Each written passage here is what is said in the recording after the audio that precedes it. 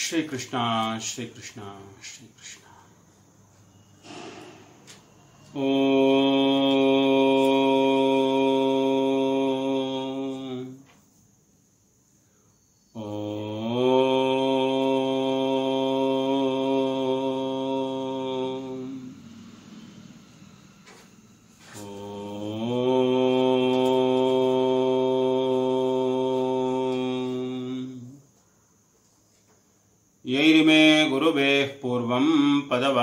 प्रमाणतः।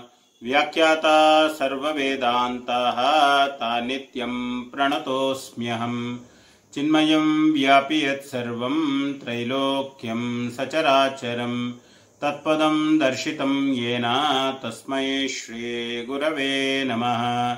समस्तजनकल्याणे निरतं करुणामयं। नमामि चिन्मयं देवं सद्गुरुं ब्रह्मविद्वरम्। ಧ್ಯಾನಮೂಲಂ ಪೂಜಾ ಮೂಲಂ ಗೊರೋ ಪದಂ ಮಂತ್ರಮೂಲಂ गुरोर्वाक्यं ಮೋಕ್ಷಮೂಲಂ गुरोः ಕೃಪಾ ಮೋಕ್ಷಮೂಲಂ ಗುರೋಃ ಕೃಪಾ ಸಾಮವೇದಕ್ಕೆ ಸೇರಿದ ಮೈತ್ರೇಯ ಉಪನಿಷತ್ತಿನ ವಿಚಾರವನ್ನು ಮಾಡ್ತಾ ಇದ್ದೀವಿ. ಎರಡನೇ ಅಧ್ಯಾಯದಲ್ಲಿ ನಾವು ಇಲ್ಲಿಯವರೆಗೆ ಇಪ್ಪತ್ತ ಎಂಟು ಶ್ಲೋಕಗಳನ್ನು ನೋಡಿಯಾಗಿದೆ ಈಗ ಇಪ್ಪತ್ತ ಒಂಬತ್ತನೆಯ ಶ್ಲೋಕ. ಮಾಭವ ಗ್ರಾಹ್ಯ ಭಾವಾತ್ಮ ಗ್ರಾಹಕಾತ್ಮ ಚ ಮಾಭವ, ಭಾವನಾಮಖಿಲಾಂ ತ್ಯಕ್ತ್ವ ಯಚ್ಚೇಷ್ಟಂ ತನ್ಮಯೋ ಭವ. ಇದು ಬಹಳ ಅರ್ಥಗರ್ಭಿತವಾಗಿರುವಂತಹ ಶ್ಲೋಕ. ಇದರ ಮುಂದಿನ ಶ್ಲೋಕ ಮತ್ತೆ ಈ ಶ್ಲೋಕ, ಇಪ್ಪತ್ತೊಂಬತ್ತು, ಮೂವತ್ತು, ಮೂವತ್ತನೇ ಶ್ಲೋಕಗಳು ಎರಡೂ ಒಂದೇ ವಿಚಾರವನ್ನ ತಿಳಿಸ್ತದೆ. ಬೇರೆ ಬೇರೆ ಶಬ್ದಗಳ ಮುಖಾಂತರ. ಮೊದಲು ಇಪ್ಪತ್ತೊಂಬತ್ತನೇ ಶ್ಲೋಕ ನೋಡುವ. ಮಾ ಭವ. ಮಾ ಭವ ಅಂದ್ರೆ ಹೀಗೆ ಆಗಬೇಡ ಅಂತ. ಮಾ ಅಂದ್ರೆ ಬೇಡ ಅಂತ. ಭವ ಅಂದ್ರೆ ಆಗುವುದು ಮಾ ಭವ ಅಂದ್ರೆ ಹೀಗೆ ಆಗಬೇಡ. ನೋಡಿ ಸಂಸ್ಕೃತದಲ್ಲಿ ಏಕಾಕ್ಷರಗಳು ಅಂತ ತುಂಬಾ ಇದೆ. ಒಂದು ಅಕ್ಷರಕ್ಕೆ ಹಲವಾರು ಅರ್ಥಗಳಿವೆ. ಅದಕ್ಕೆ ಹೆಸರು ಏಕಾಕ್ಷರ. ಇವಾಗ ಕ ಅನ್ನುವಂತಹ ಶಬ್ದ ಇರ್ಬೋದು. ಇದು ಒಂದು ಏಕಾಕ್ಷರ. ಏನು ಕ ಅಂದ್ರೆ, ಮಾಡುವವನು, ಇದಕ್ಕೆ ಕ ಅಂತ ಅರ್ಥ. ಕರ್ತ. ಯಾವುದೇ ಶಬ್ದದ ಕೊನೆಯಲ್ಲಿ ಈ ಕ ಶಬ್ದವನ್ನ ಸೇರಿಸ್ಬಿಟ್ರೆ, ಅದನ್ನ ಮಾಡುವವನು. ಪಾಲನೆ ಅಂದ್ರೆ ಪೋಷಿಸುವುದು. ಪಾಲನೆಯನ್ನ ಮಾಡುವವನಿಗೆ ಹೆಸರು ಪಾಲಕ. ಅದೇ ರೀತಿನೇ ಯಾವುದೇ ಶಬ್ದದಲ್ಲಿ ಇವಾಗ ಕಾಯ ಅಂದ್ರೆ ಶರೀರ. ಕಾಯದ ಮುಖಾಂತರ ಮಾಡುವುದಕ್ಕೆ ಹೆಸರು ಕಾಯಕ. ಸಂಸ್ಕೃತದಲ್ಲಿ ಸ್ವಾರ್ಥೆ ಕ ಪ್ರತ್ಯಯ ಅಂತ. ಎಲ್ಲಿ ಸ್ವಾರ್ಥ ಅದನ್ನ ಮಾಡುವಂತವನು ಅದಕ್ಕೆ ಸೇರಿದವನು ಅರ್ಥ ಬರ್ತದೋ ಅಲ್ಲಿ ಕ ಬರ್ತದೆ. ಅದೇ ರೀತಿನಲ್ಲೇ ದ ಅಂತ ಇನ್ನೊಂದು ಶಬ್ದ ಇದೆ. ಅದು ಏಕಾಕ್ಷರನೇ. ದ ಅಂದ್ರೆ ಟು ಗೀವ್ ಕೊಡುವುದು ಅಂತ. ಯಾವುದೇ ಶಬ್ದದ ಕೊನೆಯಲ್ಲಿ ದ ಸೇರಿಸ್ಬಿಟ್ರೆ, ನಾವು ಗುರುಪಾದಕ ಸ್ತೋತ್ರ ನೋಡಿದೀವಿ. ವೈರಾಗ್ಯ ಸಾಮ್ರಾಜ್ಯದ ಅಂತೀವಿ. ವೈರಾಗ್ಯ ಸಾಮ್ರಾಜ್ಯವನ್ನ ಕೊಡುವಂತವನು ದ. ಹಾಗೆ ಏಕಾಕ್ಷರಗಳು ಅನ್ನುವಂಥದ್ದಲ್ಲ, ತುಂಬಾ ಇದೆ. ಇವಾಗ ಮಾ ಅನ್ನುವಂಥದ್ದು ಒಂದು ಏಕಾಕ್ಷರ. ಮಾ ಅನ್ನುವುದಕ್ಕೆ ಹಲವಾರು ಅರ್ಥ ಇದೆ. ಒಂದು ಮಾ ಅಂದ್ರೆ ಲಕ್ಷ್ಮಿ ಅಂತ ಅರ್ಥ ಇದೆ. ಮಾ ಲಕ್ಷ್ಮ್ಯಾಹ ಧವ ಮಾಧವ. ಲಕ್ಷ್ಮೀಪತಿ ಅಂದ್ರು ಒಂದೇ, ಮಾಧವ ಅಂದ್ರು ಒಂದೇ. ಮಾ ಅಂದ್ರೆ ಲಕ್ಷ್ಮಿ ಅಂತ. ಆದ್ರೆ ಮಾ ಅನ್ನುವುದಕ್ಕೆ ಬೇಡ, ಇಲ್ಲದೆ ಇರುವಂತಹದ್ದು ಅಂತಾನು ಅರ್ಥ ಇದೆ. ಇವಾಗ ಮಾಯಾ ಶಬ್ದವನ್ನ ಡಿಫೈನ್ ಮಾಡಬೇಕಾದ್ರೆ, ಯಾ, ಮಾ, ಸಾ ಸಾ, ಮಾಯಾ ಅಂತ ಹೇಳ್ತೀವಿ. ಯಾ ಯಾವುದು? ಮಾ ಇಲ್ಲವೋ? ಸಾ ಅದೇ ಮಾಯ. ಆಚಾರ್ಯ ಶಂಕರರು ಭಜಗೋವಿಂದಮಲ್ಲಿ, ಮಾ ಕುರುಧನ ಜನ ಯೌವನ ಗರ್ವಂ ಈ ರೀತಿ ಹೇಳ್ತಾರೆ. ಮಾ ಕುರು ಮಾಡಬೇಡ. ಕುರು ಅಂದ್ರೆ ಮಾಡು. ಮಾ ಕುರು ಅಂದ್ರೆ ಮಾಡಬೇಡ. ಏನು? ಗರ್ವಂ. ಗರ್ವವನ್ನ ಮಾಡಬೇಡ. ಯಾವುದರಲ್ಲಿ? ಧನ, ಜನ, ಯೌವನ. ಮಾ ಕುರು ಧನ, ಜನ, ಯೌವನ ಗರ್ವಂ ಅಲ್ಲಿ ಮಾ ಅಂದ್ರೆ ಬೇಡ ಅಂತ. ಹೀಗಾಗಿ ಮಾ ಶಬ್ದಕ್ಕೆ ಬೇಡ ಅಂತಾನೂ ಅರ್ಥ ಇದೆ. ಮಾ ಶಬ್ದಕ್ಕೆ ಲಕ್ಷ್ಮಿ ಅಂತಾನೂ ಅರ್ಥ ಇದೆ. ಎಲ್ಲಿ ಉಪಯೋಗಿಸ್ತಾ ಇದ್ದಾರೆ ಅದನ್ನ ನಾವು ತಿಳ್ಕೊಳ್ಬೇಕು. ಇಲ್ಲಿ ಮಾ ಭವ ಅಂದ್ರೆ ಬೇಡ ಅಂತ. ಹಾಗ ಆಗಬೇಡ. ಏನಾಗಬೇಡ? ಗ್ರಾಹ್ಯ ಭಾವಾತ್ಮ ಗ್ರಾಹ್ಯ ಭಾವಾತ್ಮ ಮಾ ಭವ. ಗ್ರಾಹ್ಯ ಭಾವವನ್ನ ನೀನು ಹೊಂದಬೇಡ. ಗ್ರಾಹಕಾತ್ಮ ಚ ಮಾ ಭವ. ಗ್ರಾಹಕನೂ ಕೂಡ ನೀನು ಆಗಬೇಡ. ನೋಡಿ ಗ್ರಾಹ್ಯ ಭಾವವನ್ನು ಹೊಂದಬೇಡ ಗ್ರಾಹಕ ಭಾವವನ್ನು ನೀನು ಹೊಂದಬೇಡ. ಗ್ರಾಹ್ಯಾತ್ಮವನ್ನು ಆಗಬೇಡ. ಗ್ರಾಹಕಾತ್ಮನೂ ಆಗಬೇಡ. ಭಾವನಾ ಮಕಿಲಾಂ ತ್ಯಕ್ತ್ವ. ಈ ಎಲ್ಲ ಭಾವನೆಗಳು, ಈ ಎಲ್ಲ ಭಾವನೆ ಅಂದ್ರೇನು? ನೋಡಿ, ಭಾವನೆ ಅನ್ನುವ ಶಬ್ದಕ್ಕೆ ಹಲವಾರು ಅರ್ಥಗಳಿವೆ. ಒಂದು ಭಾವನೆ ಅಂದ್ರೆ ಮನಸ್ಸಿನಲ್ಲಿ ಬರುವಂತಹ ವೃತ್ತಿಗಳು, ಸದ್ಭಾವನೆಗಳು ಅಂತೀವಿ. ಏನು? ಒಳ್ಳೆಯ ಆಲೋಚನೆಗಳಿಗೆ. ಹೆಸರು ಸದ್ಭಾವನೆ. ಸೊ ಭಾವನಾ ಮಕಿಲಾಂ ಅಂದ್ರೆ ಎಲ್ಲಾ ರೀತಿಯ ಮನಸ್ಸಿನ ಏನೊಂದು ವೃತ್ತಿಗಳಿದೆ, ಇವೆಲ್ಲವನ್ನ ತ್ಯಕ್ತ್ವ ತ್ಯಜಿಸಿ. ಯಚ್ಚಿಷ್ಟಂ ಯಚ್ಚಿಷ್ಟಂ ಅಂದ್ರೇನು? ಯಾವುದು ಉಳಿತದೋ ತನ್ಮಯೋಭವ ಅದು ನೀನಾವು ತತ್ ಮಯ, ಅದು ನೀನಾವು ತನ್ಮಯ ಭವ. ಇದು ಸರಳ ಭಾವಾರ್ಥ.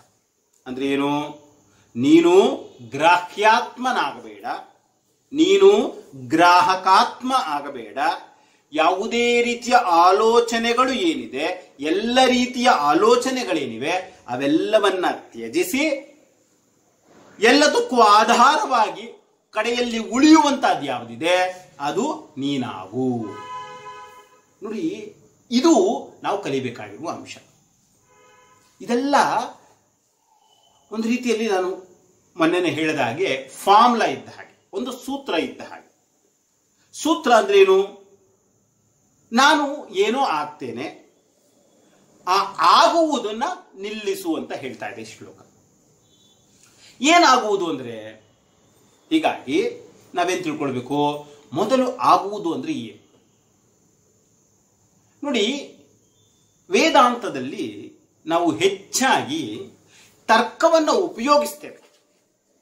ವೇದಾಂತದಲ್ಲಿ ತರ್ಕವನ್ನ ಉಪಯೋಗಿಸ್ತೇವೆ, ತರ್ಕ ಅನ್ನುವಂಥದ್ದು ಫೈನಲ್ ಅಂತ ಪ್ರೂವ್ ಮಾಡುವುದಕ್ಕಲ್ಲ ನಮ್ಮ ಆಲೋಚನಾ ಶೈಲಿಯನ್ನ ಒಂದು ರೀತಿಯಲ್ಲಿ ವೃದ್ಧಿ ಮಾಡಿಕೊಳ್ಳುವುದಕ್ಕೆ, ನಮ್ಮ ಆಲೋಚನಾ ಶೈಲಿಯನ್ನ ಹೆಚ್ಚು ಮಾಡಿಕೊಳ್ಳುವುದಕ್ಕೋಸ್ಕರ ತರ್ಕವನ್ನ ಉಪಯೋಗಿಸ್ಕೊಳ್ತೀವಿ ನಾವು. ಆದರೆ ತರ್ಕವೇ ಅಲ್ಟಿಮೇಟ್ ಅಂತ ನಾವು ಹೇಳಲ್ಲ. ಇವಾಗ ನೋಡಿ ಒಂದು ಉದಾಹರಣೆಯನ್ನು ಹೇಳ್ತೇವೆ ನಮ್ಮೆಲ್ಲರ ಅನುಭವ ನಮ್ಮೆಲ್ಲರ ಅನುಭವ ಏನಿದೆ? ಅದು ತರ್ಕದಲ್ಲಿ ಬಹಳ ಸೊಗಸಾಗಿ ವಿವರಿಸ್ತಾರೆ. ಇದಕ್ಕೆ ಹೆಸರು ತ್ರಿಪುಟಿ. ತ್ರಿಪುಟಿ ಅಂದ್ರೆ ಏನು? ಮೂರರ ಒಂದು ಗುಂಪು. ಇದು ತರ್ಕದಲ್ಲಿ ಬಹಳ ಸೊಗಸಾಗಿ ಹೇಳ್ತಾರೆ. ನಾವೆಲ್ಲರೂ ಕೂಡ ಅನುಭವಿಸ್ತಾ ಇದ್ದೀವಿ. ಅನುಭವಿಸುವುದನ್ನ ಶಬ್ದಗಳ ಮುಖಾಂತರ ನಮಗೆ ಅರ್ಥ ಮಾಡಿಸುವುದು ಯಾವುದಿದೆ? ಅದು ತರ್ಕ. ಇವಾಗ ಏನು ಉದಾಹರಣೆ? ನಮ್ಮಲ್ಲಿ ಪ್ರಮಾಣ ಶಾಸ್ತ್ರ ಅಂತ ಒಂದಿದೆ. ಎಲ್ಲವನ್ನೂ ನೋಡ್ಲಿಕ್ಕೆ ಹೋಗೋದು ಬೇಡ. ಬರೀ ಪ್ರತ್ಯಕ್ಷ ಪ್ರಮಾಣ ಅಂದ್ರೆ ಏನು ಅಂತ ಒಂದು ನೋಡುವ. ಏನು ಪ್ರತ್ಯಕ್ಷ ಪ್ರಮಾಣ? ನೋಡಿ, ಅಕ್ಷ ಅಂದ್ರೆ ಅಕ್ಷ ಅಂದ್ರೆ ಇಂದ್ರಿಯಗಳು ಅಂತ. ಅಕ್ಷ ಶಬ್ದದ ಅರ್ಥ ಏನು? ಇಂದ್ರಿಯಗಳು. ಪ್ರತಿ ಪ್ಲಸ್ ಅಕ್ಷ ಸಂಧಿಯಾಗಿ ಪ್ರತ್ಯಕ್ಷ ಆಗತ್ತೆ. ಪ್ರತಿ ಅಂದ್ರೆ ಮುಂದೆ ಅಂತ. ಪ್ರತಿ ಅಂದ್ರೆ ಏನು? ಮುಂದೆ. ಯಾವುದರ ಮುಂದೆ? ಅಕ್ಷ. ಇಂದ್ರಿಯಗಳ ಮುಂದೆ ಇರುವಂತಹದ್ದು ಯಾವುದು? ಅದಕ್ಕೆ ಹೆಸರು ಪ್ರತ್ಯಕ್ಷ. ಇವಾಗ ನಾವೇನು ಉಪಯೋಗಿಸ್ತೇವೆ ಶಬ್ದವನ್ನ? ಯಾರು? ಒಬ್ಬ. ಯಾರು? ಧ್ರುವ ಅನ್ನುವಂಥವನು. ವಿಷ್ಣುವನ್ನ ಕುರಿತು ತಪಸ್ಸನ್ನ ಮಾಡ್ದ. ನಾವೆಲ್ಲ ಬಾ ಪುರಾಣಗಳಲ್ಲಿ ಓದ್ತೀವಿ. ಭಾಗವತಾದಿ ಪುರಾಣಗಳಲ್ಲಿ, ವಿಷ್ಣುಪುರವಾದ ಪುರಾಣಗಳಲ್ಲಿ ಧ್ರುವನ ಕತೆ ಓದೇ ಓದ್ತೀವಿ. ಉತ್ತಾನಪಾದನ ಮಗ. ಉತ್ತಾನಪಾದನಿಗೆ ಇಬ್ಬರು ಹೆಂಡತಿಯರು ಸುನೂತಿ ಮತ್ತು ಸುರುಚಿ. ಆ ಸುನೀತಿ ಅನ್ನುವಂಥವಳ ಮಗ ಈ ಧ್ರುವ. ಸುರುಚಿ ಅನ್ನುವಂಥವನಿಗೆ ಒಬ್ಬ ಉತ್ತಮ ಅಂತ ಒಬ್ಬ ಮಗ ಇದ್ದ. ಈ ರೀತಿ ಎಲ್ಲ ಕಥೆ ನಾವು ಓದ್ತೀವಿ. ಇವಾಗ ನೋಡಿ, ಈ ಧ್ರುವ ವಿಷ್ಣುವನ್ನ ಕುರಿತು ತಪಸ್ಸು ಮಾಡಿದ. ಓಂ ನಮೋ ಭಗವತೆ ವಾಸುದೇವಾಯ. ನಾರದರು ಉಪದೇಶ ಮಾಡಿದ್ರು, ಅದನ್ನ ಹೇಳ್ತಾ ಇದ್ದ. ಸೊ ಧ್ರುವನ ಕತೆ ಓದ್ತಾ ಇರಬೇಕಾದ್ರೆ ಎಷ್ಟೋ ಸಮಯ ಆದ ಮೇಲೆ ಧ್ರುವನ ಮುಂದೆ ವಿಷ್ಣು ಪ್ರತ್ಯಕ್ಷ ಆದ ಅಂತ ಹೇಳ್ತೀವಿ. ಇದಕ್ಕೂ ಮುಂಚೆ ನಾನು ಹೇಳಿದೆ ಪ್ರತ್ಯಕ್ಷ ಪ್ರಮಾಣ ಅಂತ. ಪ್ರತ್ಯಕ್ಷ ಆದ ಅಂದ್ರೆ ಏನು? ಅವನ ಮುಂದೆ, ಪ್ರತಿ ಅಂದ್ರೆ ಅವನ ಮುಂದೆ ಪ್ರಕಟವಾಗುವುದಕ್ಕೆ ಹೆಸರು ಪ್ರತ್ಯಕ್ಷ. ಸೊ ಪ್ರತ್ಯಕ್ಷ ಅಂದ್ರೆ ಏನು? ಇಂದ್ರಿಯಗಳ ಮುಂದೆ ಪ್ರಕಟವಾಗುವುದು ಯಾವುದಿದೆ? ಅದಕ್ಕೆ ಹೆಸರು ಪ್ರತ್ಯಕ್ಷ. ಸೊ ಇಂದ್ರಿಯಗಳೆಷ್ಟಿದೆ ನಮಗೆ? ಐದು ಇಂದ್ರಿಯಗಳಿದೆ. ಕಣ್ಣು, ಕಿವಿ, ಮೂಗು, ನಾಲಿಗೆ, ಚರ್ಮ.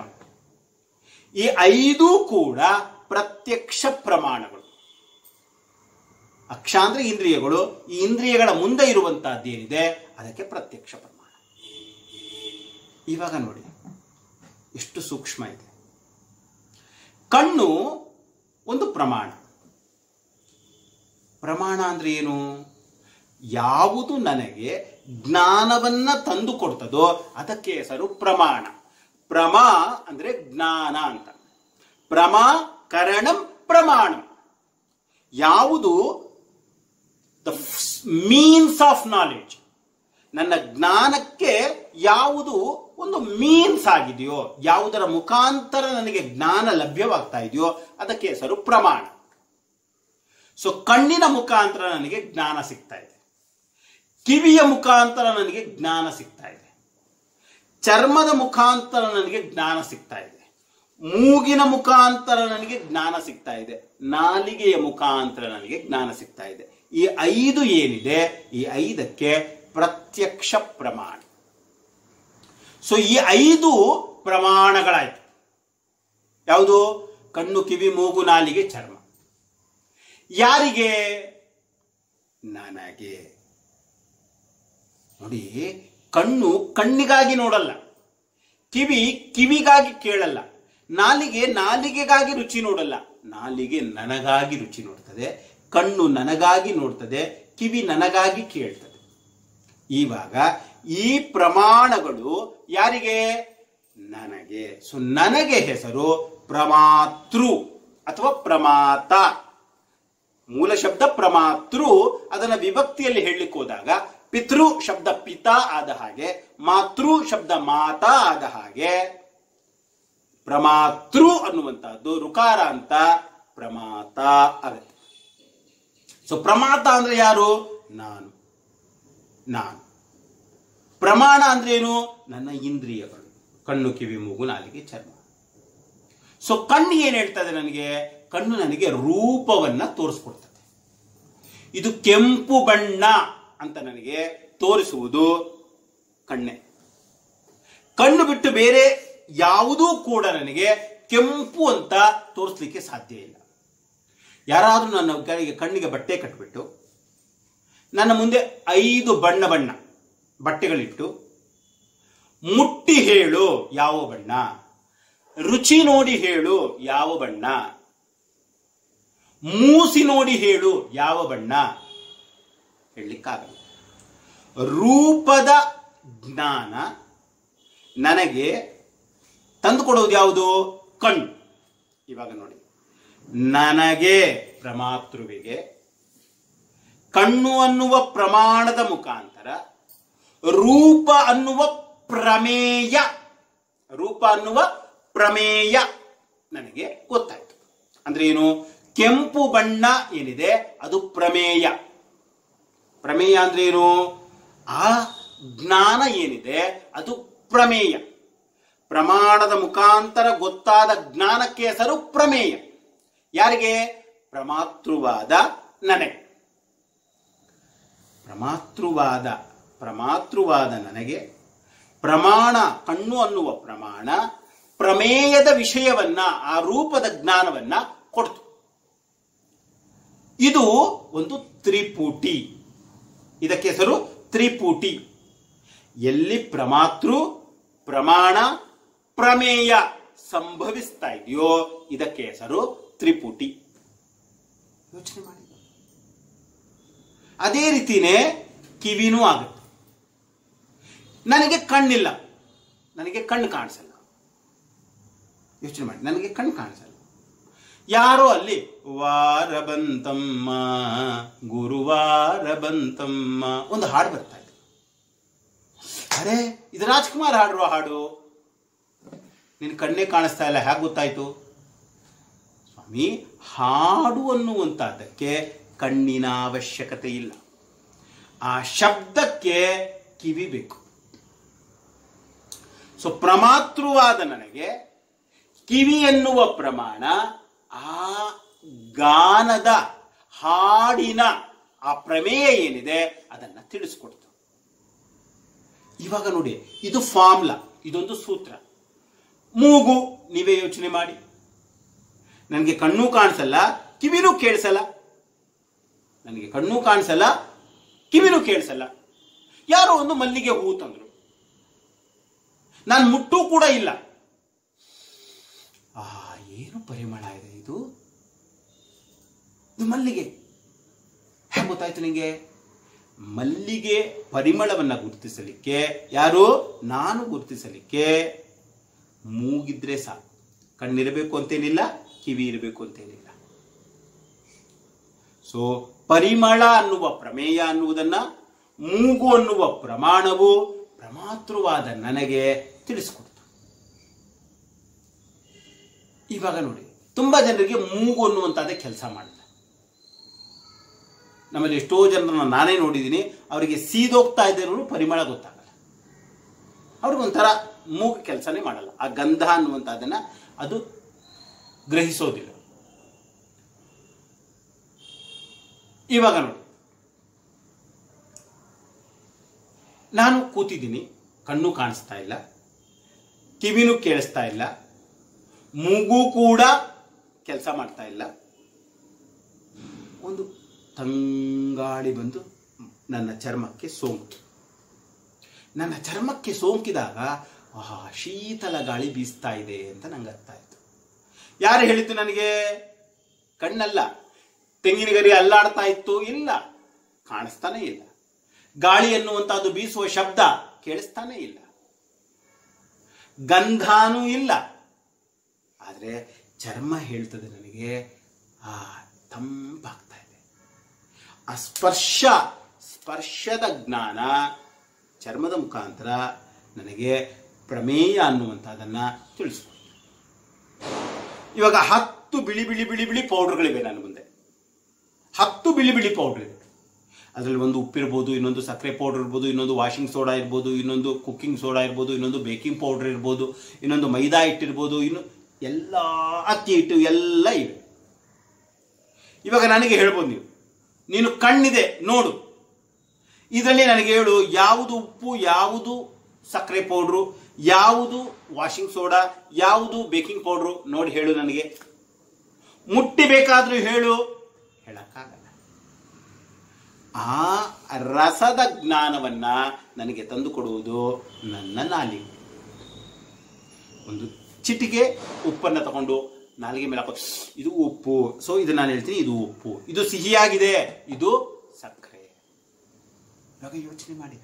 ಒಂದೊಂದು ವಿಷಯದ ಜ್ಞಾನವನ್ನ ಒಂದೊಂದು ಇಂದ್ರಿಯ ತಂದುಕೊಡ್ತದೆ. ಹೀಗಾಗಿ ಪ್ರಮಾಣ ಅಂದ್ರೆ ಇದು.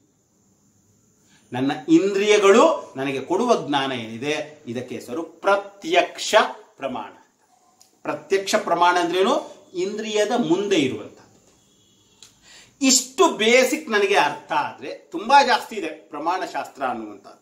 ಅನುಮಾನ ಅಂತ ಬರ್ತದೆ, ಉಪಮಾನ ಅನ್ನುವಂಥದ್ದು ಬರ್ತದೆ, ಅರ್ಥಾಪತ್ತಿ ಅಂತ ಬರ್ತದೆ, ಅನುಪಲಬ್ಧಿ ಅಂತ ಬರ್ತದೆ, ಹಲವಾರು ಬರ್ತಾ ಹೋಗ್ತದೆ. ಎಲ್ಲವೂ ತುಂಬ ಇದೆ ಪ್ರಮಾಣಗಳಲ್ಲಿ. ಶಬ್ದ ಪ್ರಮಾಣ, ಆಪ್ತವಚನ ಅಂತ ಬರ್ತದೆ. ಒಪ್ಪಿರುವಂಥದ್ದು ಆರು, ಸದ್ಯಕ್ಕೆ ನಮಗೆ ಇಷ್ಟು ಸಾಕು. ಸೊ ಈ ತ್ರಿಪುಟಿ ಅನ್ನುವಂಥದ್ದು ಬರುವುದು ಈ ನನ್ನ ಮೊದಲನೆಯದರಲ್ಲಿ ಯಾವುದರಲ್ಲಿ? ಪ್ರತ್ಯಕ್ಷ ಪ್ರಮಾಣದಲ್ಲಿ ಬರ್ತದೆ ತ್ರಿಪುಟಿ. ಬರೀ ಇಷ್ಟೇನಾ ಅಂದ್ರೆ ಇಲ್ಲ. ಸೊ ನಾವೇನು ಹೇಳ್ತೇವೆ? ಅನುಭವಿಸುವವನು ನಾನು. ಯಾರು? ಪ್ರಮಾತೃ ಇಂಗ್ಲಿಷ್ನಲ್ಲಿ ಎಕ್ಸ್ಪೀರಿಯನ್ಸರ್ ಅಂತೇವೆ. ಯಾರು? ನಾನು. ಎಕ್ಸ್ಪೀರಿಯನ್ಸ್ಡ್. ಅನುಭವಿಸಿದ್ದು ಪ್ರಮೇಯ ಯಾವುದು? ತಿಳಿದುಕೊಂಡದ್ದು ಯಾವುದು ಯಾವುದೋ ಒಂದು ವಿಚಾರ. ಹೇಗೆ? ಥ್ರೂ ಎನ್ ಎಕ್ಸ್ಪೀರಿಯನ್ಸ್ ಅಂತ ಹೇಳ್ತೀವಿ ಒಂದು ಎಕ್ಸ್ಪೀರಿಯನ್ಸ್ ಪ್ರಮಾಣದ ಮುಖಾಂತರ ಎಕ್ಸ್ಪೀರಿಯನ್ಸ್ ಏನಿದೆ, ಅದನ್ನ ಎಕ್ಸ್ಪೀರಿಯನ್ಸರ್ ನಾನು ಅರಿತುಕೊಂಡೆ. ಅನುಭವಿಸುವವನು ನಾನು ಅನುಭವದ ಮುಖಾಂತರ ಯಾವುದೋ ಒಂದನ್ನ ಅನುಭವಿಸಿದೆ. ಪ್ರಮಾತೃವಾದ ನಾನು ಪ್ರಮಾಣದ ಮುಖಾಂತರ ಪ್ರಮೇಯವನ್ನ ಅರಿತುಕೊಂಡೆ. ಇದು ಟೆಕ್ನಿಕಲ್ ಶಬ್ದ ಬಟ್ ನಾವೆಲ್ಲರೂ ಕೂಡ ಅನುಭವಿಸ್ತಾ ಇದ್ದೀವಿ ಎಲ್ಲರೂ ಕೂಡ. ನಾವೆಲ್ಲರೂ ಕೂಡ ಇದನ್ನ ಪ್ರತಿನಿತ್ಯನೂ ಅನುಭವಿಸ್ತಾ. ಇವಾಗ ಇದಿಷ್ಟು, ಎಷ್ಟು ಸೊಗಸಾಗಿದೆ. ಅರೆ, ಎಂಥ ಜ್ಞಾನ ಸ್ವಾಮೀಜಿ ತರ್ಕ. ವೆರಿ ಗುಡ್ ಇದು ಇಲ್ಲಿಗಷ್ಟೇ ಬಿಟ್ಬಿಡ್ಬೇಕು. ಇನ್ನು ಮುಂದೆ ತಗೊಂಡು ಹೋಗ್ಬಾರ್ದು. ಇನ್ನು ಮುಂದೆ ತಗೊಂಡೋದ್ರೆ ಏನಾಗುತ್ತೆ? ಮತ್ತೆ ಸಿಕ್ಕಾಕೊಂಡ್ಬಿಡ್ತೀವಿ ನಾವು ಸುಳಿಯಲ್ಲಿ ಇವಾಗ ಆತ್ಮತತ್ವ ಅನ್ನುವಂತ ಅದಕ್ಕೆ ಬರ್ತೀನಿ ನಾನು. ಪ್ರಾಪಂಚಿಕ ವಿಷಯಗಳ ಬಗ್ಗೆ ಹೇಳಿದೆ. ಶಬ್ದ ಸ್ಪರ್ಶ ರೂಪ ರಸದ ಗಂಧದ ಬಗ್ಗೆ ಎಲ್ಲ ಹೇಳಿದೆ ನಾನು. ಶಬ್ದ ಸ್ಪರ್ಶ ರೂಪ ರಸಗಂಧದ ಬಗ್ಗೆ ಎಲ್ಲ ಹೇಳಿದೆ. ತ್ರಿಪುಟಿಗಳನ್ನು ಹೇಳಿದೆ. ಯಾರು ಪ್ರಮಾತೃ, ಯಾರು ಪ್ರಮಾಣ, ಯಾರು ಪ್ರಮೇಯ, ಯಾವುದು ಎಲ್ಲ ಹೇಳಿದೆ. ಇವಾಗ ನಾನು ವೇದಾಂತದ ವಿದ್ಯಾರ್ಥಿ. ಶಾಸ್ತ್ರ ಅನ್ನುವ ಪ್ರಮಾಣದ ಮುಖಾಂತರ, ಬ್ರಹ್ಮ ಅನ್ನುವ ಪ್ರಮೇಯವನ್ನ ತಿಳಿದುಕೊಳ್ತೀನಿ ಅಂದ್ರೆ ಸಿಕ್ಕಾಕೊಂಡ್ಬಿಡ್ತೀನಿ. ಸಿಕ್ಕಾಕೊಂಡ್ಬಿಡ್ತೀನಿ ಅಂದ್ರೆ ಏನು? ಇಲ್ಲಿ ತ್ರಿಪುಟಿ ಬರಲ್ಲ. ತ್ರಿಪುಟಿ ಬರಲ್ಲ. ನೋಡಿ ಪುರಂದರದಾಸರು ಎಲ್ಲಿ? ಚನ್ನಪಟ್ಟಣದ ಹತ್ರ ಒಂದು ದೇವಸ್ಥಾನ ಇದೆ. ಮಳ್ಳೂರು, ಮಳೂರು ಅಂತ. ಅಲ್ಲಿ ಒಂದು ಅಂಬೆಗಾಲ್ ಕೃಷ್ಣನ ಒಂದು ದೇವಸ್ಥಾನ ಇದೆ. ಏನು ನಂಬಿಕೆ? ಅಲ್ಲೇ ಪುರಂದರದಾಸರು ಆಡಿಸಿದಳ ಯಶೋದೆ ಜಗದೋದ್ಧಾರನ ಹಾಡನ್ನ ಬರೆದರು ಅಂತ ಒಂದು ಪ್ರತೀತಿ. ಅಲ್ಲಿ ಇರುವ ಕೃಷ್ಣನನ್ನ, ಅಂಬೆಗಾಲ ಕೃಷ್ಣನನ್ನ ಅಪ್ರಮೇಯ ಸ್ವಾಮಿ ಅಂತ ಕರೀತಾರೆ. ಏನ್ ಹೆಸರು? ಅಪ್ರಮೇಯ ಸ್ವಾಮಿ. ಇವಾಗ ನೋಡಿ ಇಷ್ಟೊತ್ತರ ತನಕ ಏನೋ ಒಂದು ಶಬ್ದ ಕೇಳಿದಾಗಿದೆ ಇದರಲ್ಲಿ. ಏನು? ಸ್ವಾಮೀಜಿ ಪ್ರಮಾತೃ ಆದಂತಹ ನಾನು ಪ್ರಮಾಣದ ಮುಖಾಂತರ ಪ್ರಮೇಯವನ್ನ ತಿಳಿದುಕೊಳ್ತೇನೆ ಅಂತ ಹೇಳಿದೆ. ಕಣ್ಣಿನ ಪ್ರಮೇಯ ಯಾವುದು? ರೂಪ. ಕಿವಿಯ ಪ್ರಮೇಯ ಯಾವುದು? ಶಬ್ದ. ನಾಲಿಗೆಯ ಪ್ರಮೇಯ ಯಾವುದು? ರಸ. ಚರ್ಮದ ಪ್ರಮೇಯ ಯಾವುದು? ಸ್ಪರ್ಶ. ನಾಲಿಗೆಯ ಪ್ರಮೇಯ ಯಾವುದು? ರಸ. ಇದು ಪ್ರತ್ಯಕ್ಷ ಪ್ರಮಾಣ ಅಂತ ಹೇಳಿದೆ. ಪ್ರಮೇಯ ಯಾವುದು? ಶಬ್ದ ಸ್ಪರ್ಶ ರೂಪ, ರಸಗಳು ಅನ್ನುವಂಥದ್ದು ನನಗೆ ಪ್ರಮೇಯವಾಗಿ ಗೊತ್ತಾಗ್ತಾ ಇದೆ. ಪ್ರಮಾಣಗಳ ಮುಖಾಂತರ, ಕಣ್ಣು, ಕಿವಿ, ಮೂಗು, ನಾಲಿಗೆ, ಚರ್ಮದ ಮುಖಾಂತರ. ಇಲ್ಲಿ ಒಂದು ಹೊಸ ಶಬ್ದ ಇದೆ. ಅದೇ ಪ್ರಮೇಯದ ಮುಂದೆ ಅಕಾರ ಅಂತಿದೆ. ಅಪ್ರಮೇಯ ಅಂತ ಬಂದ್ಬಿಟ್ಟಿದೆ. ಅಪ್ರಮೇಯ ಸ್ವಾಮಿ ಅಂತೀವಿ ಇವಾಗ ಏನು? ಪ್ರಮೇಯ ಏನಿದೆ? ಅದು ಲಭಿಸದೇ ಇರುವುದಕ್ಕೆ ಹೆಸರು ಅಪ್ರಮೇಯ ಆಪೋಸಿಟ್ ಆಫ್ ಪ್ರಮೇಯ ಯಾವುದು? ಅದು ಅಪ್ರಮೇಯ. ಅಂದ್ರೆ ಏನು? ಇಂದ್ರಿಯಗಳಿಗೆ ಪ್ರಮಾಣಕ್ಕೆ ನಿಲುಕದೆ ಇರುವಂತವನು ಯಾರು? ಅವನಿಗೆ ನಾವು ಅಪ್ರಮೇಯ ಅಂತ ಹೆಸರು. ಸೊ ಕೃಷ್ಣ ಯಾರಪ್ಪ ಹಾಗಾದ್ರೆ? ಕೃಷ್ಣ ಅನ್ನುವಂಥವನು ಕಣ್ಣು, ಕಿವಿ, ಮೂಗು, ನಾಲಿಗೆ, ಚರ್ಮ ಏನೊಂದು ಇಂದ್ರಿಯಗಳಿದೆ. ಆ ಇಂದ್ರಿಯಗಳ ಮುಖಾಂತರ ನನಗೆ ಗೋಚರವಾಗದೇ ಇರುವಂತವನು ಯಾರು? ಅವನಿಗೆ ಹೆಸರು ಅಪ್ರಮೇಯ ಸ್ವಾಮಿ ಅಲ್ಲ ಸ್ವಾಮೀಜಿ ಅಲ್ಲೊಂದು ಮೂರ್ತಿ ನೋಡ್ತೀವಲ್ಲ? ಮೂರ್ತಿ ನೋಡ್ತೀಯ? ಈ ಮೂರ್ತಿ ಅನ್ನುವಂಥದ್ದು ಏನು ಒಂದಷ್ಟು ದಿನ ಆದ್ಮೇಲೆ ಅದಿಲ್ಲವಾಗ್ತದೆ. ನಿತ್ಯಾನು ನೀನು ಅಭಿಷೇಕ ಮಾಡ್ತಾ ಮಾಡ್ತಾ ಹೋದ್ರೆ ಇವಾಗಿಲ್ಲ ಇನ್ನೊಂದು ಸಾವಿರ ವರ್ಷ ಆದ್ಮೇಲೆ ಅಲ್ಲಿ ಮೂರ್ತಿನೇ ಇರಲ್ಲ. ಹೇಗೆ ಹೇಳ್ತೀರಾ ಸ್ವಾಮೀಜಿ?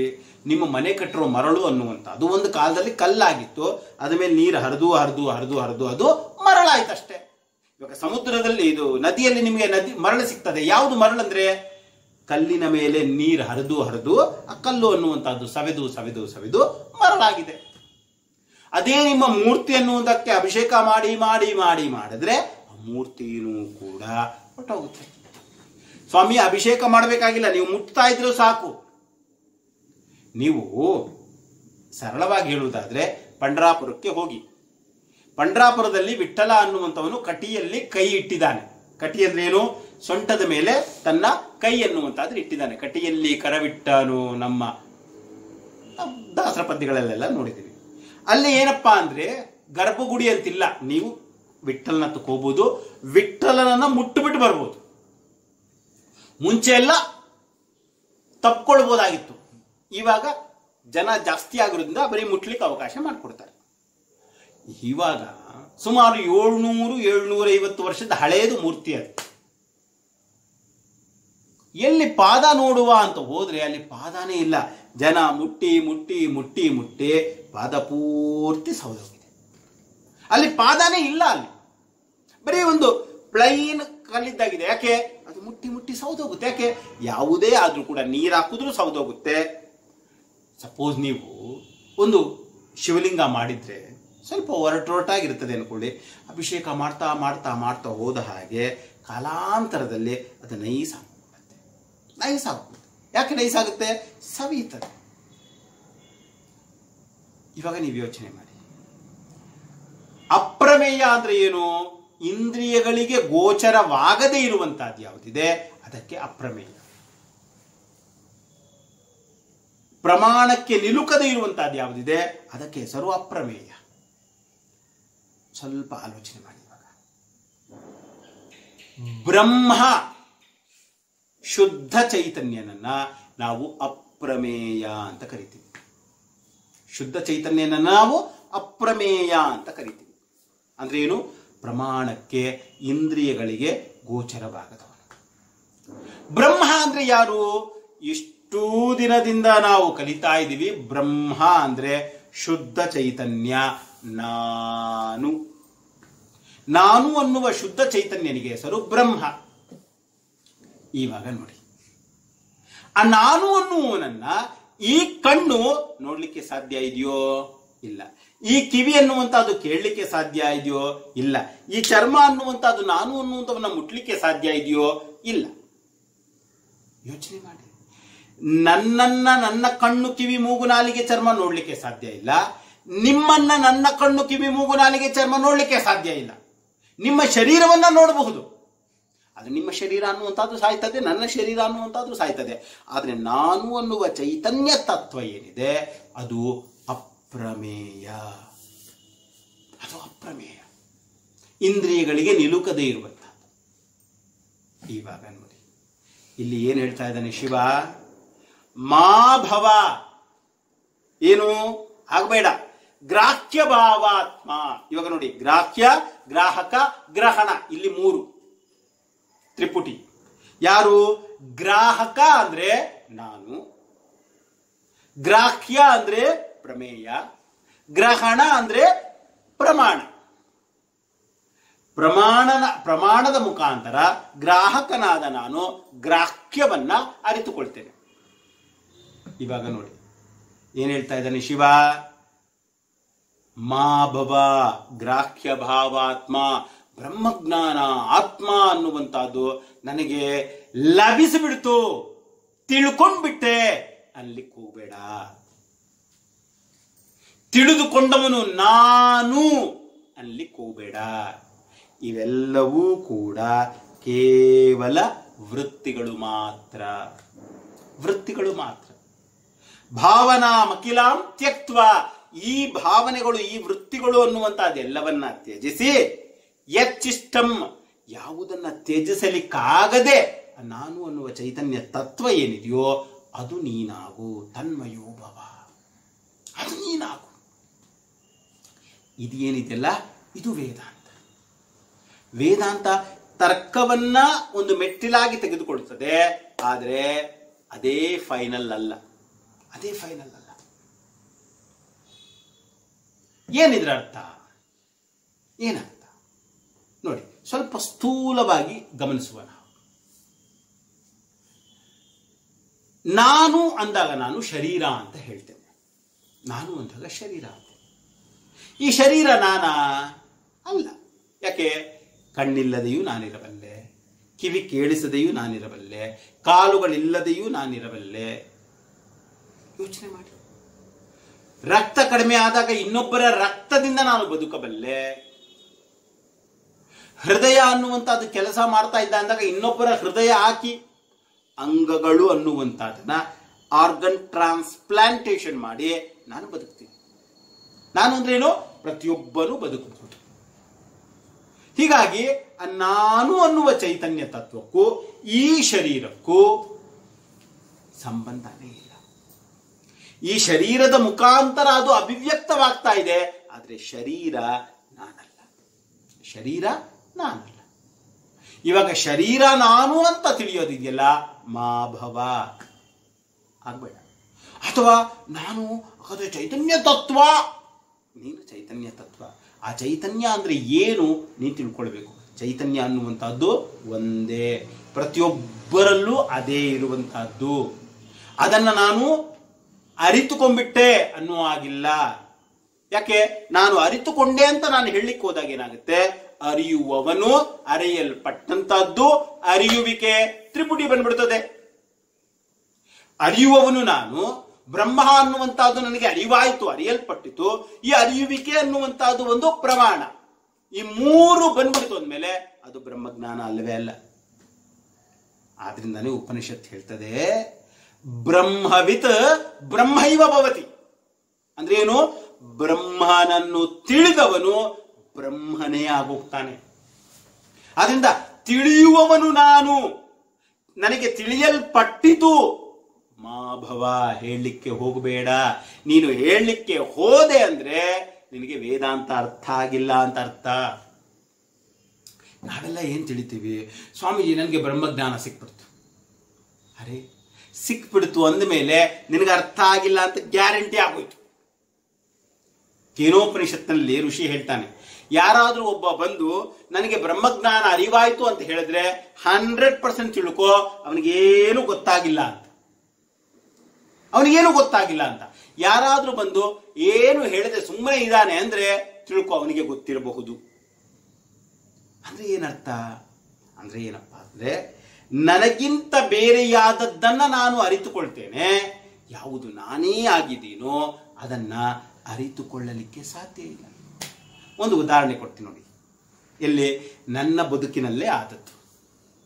ಸುಮಾರು ಹತ್ತು, ಹನ್ನೆರಡು ವರ್ಷ ನಾನು ಚಿನ್ಮಯಾಂಶನಿಗೆ ಬಂದು ಇಪ್ಪತ್ತೆರಡು ವರ್ಷ ಆಯಿತು, ಇಪ್ಪತ್ತೆರಡು, ಇಪ್ಪತ್ನಾಲ್ಕು ವರ್ಷ ಆಯಿತು.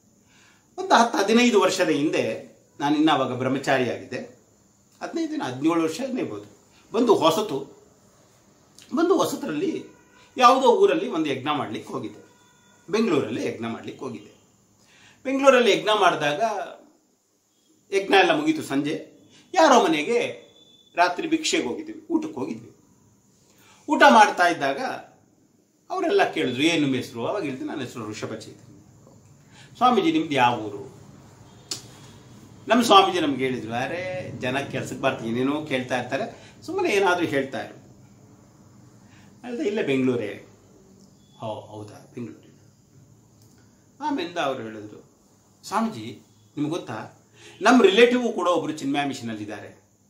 ಓ, ಹೌದಾ? ಏನು ಅವ್ರ ಹೆಸರು? ಆ್ಯಕ್ಚುಲಿ ಅವ್ರ ಹೆಸರೇನು ಒಂದು ಗೊತ್ತಿಲ್ಲ ನಮಗೆ. ಬಟ್ ಗೊತ್ತು ನಮ್ಗೆ ಅವ್ರು ಇದ್ದಾರೆ ನಮಗೆ ಆ ಥರದ ರಿಲೇಟಿವ್ ಆವಾಗ ನನ್ನಲ್ಲಿ ಒಂಥರ ಕಾತರತೆ ಬಂದ್ಬಿಡ್ತು. ಅಲ್ಲ ನಾನು ಅವರು ಸಿಕ್ಕಿದಾಗ ಹೋಗಿ ಹೇಳ್ಬೋದು ನಿಮ್ಮ ರಿಲೇಟಿವ್ ಮನೆಗೆ ಊಟಕ್ಕೆ ಹೋಗಿದ್ದೆ ಅಂತ ಹೇಳ್ಬೋದು. ಯಾರವರು ಏನು ಅವ್ರ ಹೆಸರು? ಅವ್ರ ಹೆಸರು ಗೊತ್ತಿಲ್ಲ ನಮಗೆ. ಮತ್ತೆ ಹೇಗಪ್ಪ? ಆಮೇಲಿಂದ ಹಾಗೆ ಏನೇನೋ ಹೇಳ್ತಾ ಬಂದರು. ಆಮೇಲಿಂದ ಎಕ್ಸ್ಪ್ಲೈನ್ ಮಾಡಿ, ಅವ್ರು ಹೀಗೆ ಹೀಗೆ ಹೀಗೆ ಹೀಗೆ ಅಂತೆಲ್ಲ ಎಕ್ಸ್ಪ್ಲೈನ್ ಮಾಡ್ತಾ ಮಾಡ್ತಾ ಮಾಡ್ತಾ ಬಂದಾಗ ಕಡೆಗೆ ಸ್ವಲ್ಪ ಸಮಯ ಆದಮೇಲೆ ನನಗೆ ಗೊತ್ತಾಯಿತು. ಅವ್ರ ರಿಲೇಟಿವ್ ಅಂತ ಯಾರ ಬಗ್ಗೆ ಹೇಳ್ತಾ ಇದ್ದಾರೋ ಅದು ನಾನೇ. ಅದು ನಾನೇ. ಇವಾಗ ನೋಡಿ, ಅವರು ಹೇಳೋದಕ್ಕಿಂತ ಮುಂಚೆ ನನ್ನ ಮನಸ್ಸಲ್ಲಿ ಬಂತು, ಅವ್ರು ಯಾರು ಅಂತ ಗೊತ್ತಾದ ಮೇಲೆ ಅವ್ರಿಗೋಗಿ ಹೇಳ್ತೀನಿ ನಾನು, ನಿಮ್ಮ ರಿಲೇಟಿವ್ ಮನೆಗೆ ಹೋಗಿದ್ದೆ ಅಂತ. ನನ್ನ ನನ್ನ ಮನಸ್ಸಲ್ಲಿ ಏನೆಲ್ಲ ಆಲೋಚನೆಗಳು ಬಂದಿತ್ತು. ಇವಾಗ ಅದು ನಾನೇ ಅಂತ ಗೊತ್ತಾದ ಮೇಲೆ ನಾನು ನನಗೆ ಹೇಳ್ಕೊಳ್ಳಿಕ್ಕೆ ಸಾಧ್ಯ ಇದೆಯಾ? ನಾನು ನಿಮ್ಮ ರಿಲೇಟಿವ್ ಮನೆಗೆ ಹೋಗಿದ್ದೆ ಅಂತ? ಇಲ್ಲ. ಯಾಕೆ? ಅದು ನಾನೇ. ಯಾವಾಗ ಅದು ನಾನೇ ಅಂತ ನನಗೆ ಅರ್ಥ ಆಗೋಯ್ತೋ, ಆಗ ಅಲ್ಲಿ ತಿಳಿಯುವವನು ತಿಳಿಯಲ್ಪಟ್ಟದ್ದು ಇದ್ಯಾವುದೂ ಇಲ್ಲ. ಅದು ನಾನು. ಆಗ ನಾನು ಹೇಳ್ತೇನೆ, ಅಸಂಗೋಹಂ ಅಸಂಗೋಹಂ ಅಸಂಗೋಹಂ, ಪುನಃ ಪುನಃ ಸಚ್ಚಿದಾನಂದರೂಪೋಹಂ ಅಹಮೇವ ಅಹಮವ್ಯಯ ನಾನು ಅವ. ನಾನು ಇನ್ನೊಬ್ಬ ಅಲ್ಲ. ನಾನು ತಿಳಿಯಲ್ಪಡುವಂತವನಲ್ಲ, ತಿಳಿಯುವವನಲ್ಲ. ಅವನೇ ನಾನು. ಆವಾಗ ನನಗೆ ಅರ್ಥ ಆಗುತ್ತೆ, ಅಪ್ರಮೇಯ ನಾನು. ಯೋಚನೆ ಮಾಡಿ, ಅಪ್ರಮೇಯ ನಾನು. ಅದಕ್ಕೆ ಪೂಜ್ಯ ಗುರುದೇವರ ಅಷ್ಟೋತ್ತರ ಶತನಾಮಾವಳಿಯಲ್ಲಿ ಓಂ ಅಪ್ರಮೇಯಾಯ ನಮಃ ಅಂತ ಹೇಳ್ತೀವಿ ನಾವು. ಅದ್ವಿತೀಯಾಯ ನಮಃ ಅನಿಕೇತಾಯ ನಮಃ ಓಮಜಾಯ ನಮೋ ಓಮ ಅವ್ಯಯಾಯ ವಿನಾಶನೇನ್ ಮೋಮ ಅವಿನಾಶಿನೇ ಮೋಮ ಓಂ ಮೋಮ ನಮಃ ಮೋಮ ನಿಕೇತಾಯನ್ ಮೋಮ ಅನುಶಾಸನ ಪ್ರಿಯಾಯನ್ ಮೋಮ ಅಂತಃಸಾಕ್ಷಿಣೇನ್ ಮಾ ಎಲ್ಲ ಶಬ್ದಗಳು ಶುದ್ಧ ಚೈತನ್ಯಾನೇ. ಯಾರು ಶುದ್ಧ ಚೈತನ್ಯ ಅಂದ್ರೆ? ಅಜ ಹುಟ್ಟಿಲ್ಲದೆ ಇರುವಂತವನು ಯಾರು? ನಾನು ಅನ್ನುವ ಚೈತನ್ಯ ತತ್ವಕ್ಕೆ ಹುಟ್ಟಿಲ್ಲ. ಇವಾಗ ಕೂತ್ಕೊಂಡು ಯೋಚನೆ ಮಾಡಬೇಕು. ಹುಟ್ಟಿಲ್ಲ ಅಂದ್ರೆ ಏನರ್ಥ? ಯೋಚನೆ ಮಾಡಿ. ನಾನು ಹುಟ್ಟಿಲ್ವಾ? ಹುಟ್ಟಿದ್ದೀನಿ. ನನಗೆ ಗೊತ್ತಿದೆಯಾ? ಇಲ್ವೇ. ನನ್ನ ಅನುಭವಕ್ಕೆ ಬಂದಿಲ್ಲ. ನಾನು ಹುಟ್ಟಿರುವಂತಹದ್ದು ನನ್ನ ಅನುಭವಕ್ಕೆ ಬಂದಿಲ್ಲ. ನಾನು ಸಾಯುವಂತಹದ್ದು ನನ್ನ ಅನುಭವಕ್ಕೆ ಬರಲ್ಲ. ಹೀಗಾಗಿ ಈ ಹುಟ್ಟು ಸಾವು ಮುಖ್ಯ ಅಲ್ಲ, ನಾನು ಮುಖ್ಯ. ಅವ್ಯಯ ನಾಶ ಇಲ್ಲ. ಅಮಜಾಯ ಎನ್ಮೋ ಅವ್ಯಯ ಎನ್ಮೋ ಅವಿನಾಶಿನೇ ನಮಃ ವಿನಾಶ ಅನ್ನುವಂತಹದ್ದಿಲ್ಲ ಅಚಿಂತ್ಯಾಯ ನಮಃ, ಚಿಂತನೆಗೆ ಸಿಲುಕುವವನಲ್ಲ ನಾನು. ಯಾರು ಚಿಂತಿಸುವವನೇ ನಾನಾಗಿದ್ದೇನೋ, ನಾನು ಚಿಂತನೆಗೆ ಸಿಲುಕುವಂತಹದ್ದಿಲ್ಲ ಇವಾಗ ಒಂದು ಮೊಬೈಲ್ ಇದೆ. ಮೊಬೈಲ್ ಅನ್ನುವಂಥದ್ದು ಕೆಲಸ ಮಾಡ್ತಾ ಇಲ್ಲ ಅಂದ್ರೆ, ಮೊಬೈಲ್ ಯಾಕೆ ಕೆಲಸ ಮಾಡ್ತಾ ಇಲ್ಲ ಅಂತ ನಾನು ಆಲೋಚನೆ ಮಾಡಿ, ಓ, ಇಲ್ಲಿ ಬ್ಯಾಟ್ರಿ ಅನ್ನುವಂಥದ್ದು ಏನೋ ಆಗಿರ್ಬೋದು, ಇಲ್ಲಿ ಸ್ಕ್ರೀನ್ ಅನ್ನುವಂಥದ್ದು ಏನೋ ಆಗಿರ್ಬೋದು, ಅಥವಾ ಸಾಫ್ಟ್ವೇರ್ ಅನ್ನುವಂಥದ್ದು ಕರಪ್ಟ್ ಆಗಿರ್ಬೋದು, ಈ ಜ್ಞಾನಗಳ ಮುಖಾಂತರ ಮೊಬೈಲ್ ಅನ್ನುವಂಥದ್ದನ್ನ ಸರಿ ಮಾಡ್ತೇನೆ ನಾನು. ಯಾಕೆ? ಅದು ನನಗಿಂತ ಬೇರೆ. ನಾನು ಸೋರ್ಸ್ ಇರಬೇಕಾದ್ರೆ, ಆ ನಾನು ನನಗಿಂತ ಬೇರೆಯಲ್ಲ ಮೊಬೈಲ್ ಅಲ್ಲ, ಅದನ್ನ ಸರಿ ಮಾಡಲಿಕ್ಕೆ. ಚಿಂತನೆಗೆ ಸಿಕ್ಕದೇ ಇರುವುದು. ಅಚಿಂತ್ಯಾಯ ನಮಃ. ಅಪ್ರಮೇಯಾಯ ನಮಃ. ನಾನು ಯಾವತ್ತೂ ಕೂಡ ಪ್ರಮೇಯವಾಗದೇ ಇರುವಂತವನು. ಮತ್ತೆ ಮತ್ತೆ ಹೇಳ್ತೀನಿ. ಕಣ್ಣಿಗೆ ರೂಪ ಏನಿದೆ, ಅದು ಪ್ರಮೇಯ. ಕಿವಿಗೆ ಶಬ್ದ ಅನ್ನುವಂತ ಅದೇನಿದೆ ಅದು ಪ್ರಮೇಯ. ನಾಲಿಗೆಗೆ ರಸ ಅನ್ನುವಂತಹದ್ದು ಪ್ರಮೇಯ. ಚರ್ಮಕ್ಕೆ ಸ್ಪರ್ಶ ಅನ್ನುವಂತಹದ್ದು ಪ್ರಮೇಯ. ಮೂಗಕ್ಕೆ ಗಂಧ ಅನ್ನುವಂತಹದ್ದು ಪ್ರಮೇಯ. ಪ್ರಮಾತೃ ಯಾರು? ನಾನು.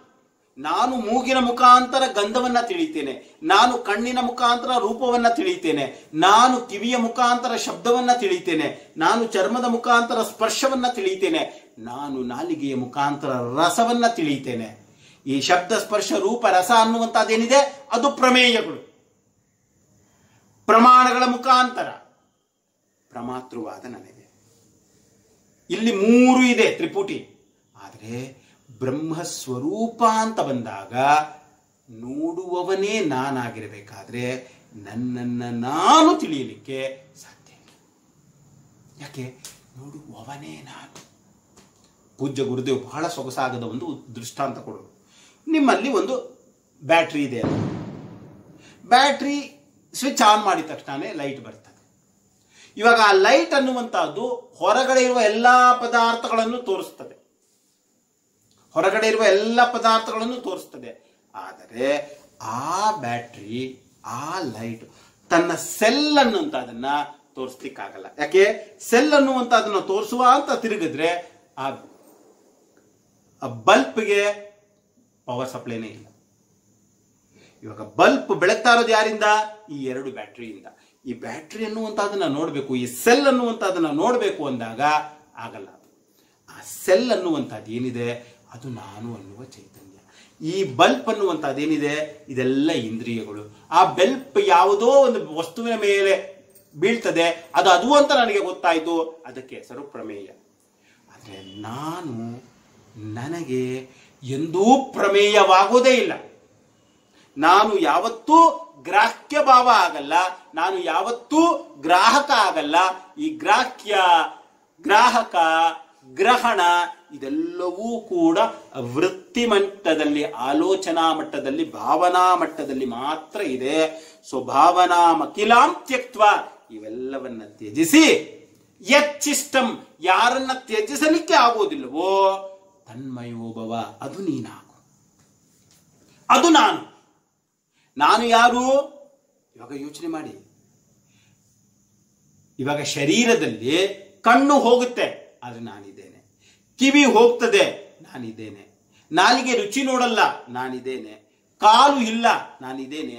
ಕೈ ಇಲ್ಲ, ನಾನಿದ್ದೇನೆ. ಯಾವುದೂ ಇಲ್ಲದೆ ಯಾರು ಇರಲಿಕ್ಕೆ ಸಾಧ್ಯ ಇದೆಯೋ, ಅವನಿಗೆ ಹೆಸರು ಚೈತನ್ಯ.